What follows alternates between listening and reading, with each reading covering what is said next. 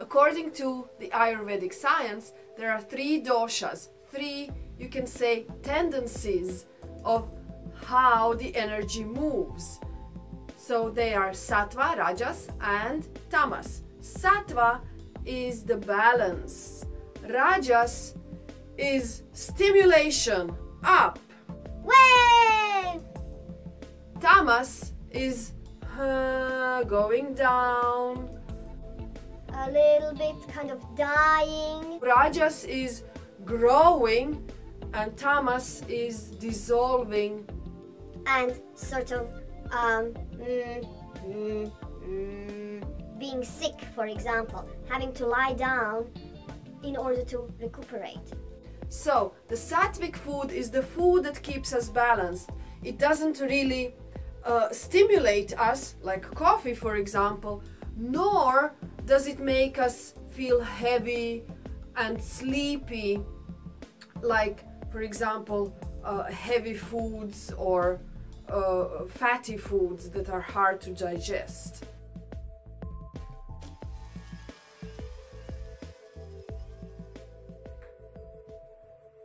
After eating sattvic food, you feel content and blissful. It is easy to digest. Rajasic food is also called food for the royals. It is high in calories, it is more oily, but it makes you do stuff, right? It stimulates you, it makes you very energized, right? It has this spike like sugar. Tamasic food is the heavy food the food that uh, keeps you calm, it's hard to digest. They say it takes you to ignorance. You feel sleepy after it. What determines if the food is sattvic or not basically doesn't only mean on the kind of food. So you can say a banana, right? It, it doesn't have to be sattvic uh, always it depends on how many bananas you eat. Uh, it depends on whether this banana is fresh, whether it's still green, or whether it's already kind of overripe and mushy. And um, almost, you know, like moldy.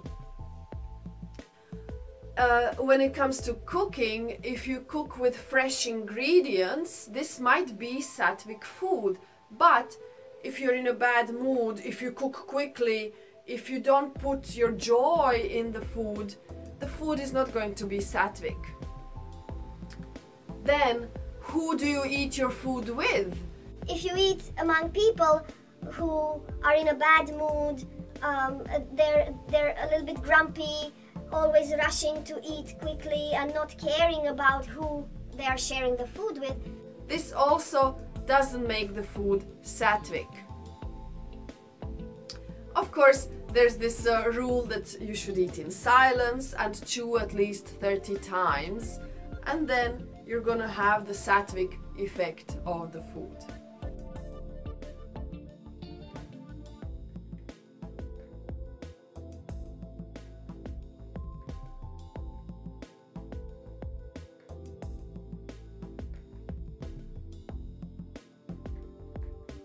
Sattva, Rajas and Tamas don't only apply to food, they apply to anything we do in our lives. Anything can be balancing, uplifting, or makes you down. So just think about it as the effect that something has on you. So it can be people, it can be animals, it can be your environment, it can be things, it can be what you are doing, your activities can be sattvic, rajasic and tamasic. So it's a little bit of a philosophy as well, not just the food and uh, what you are eating.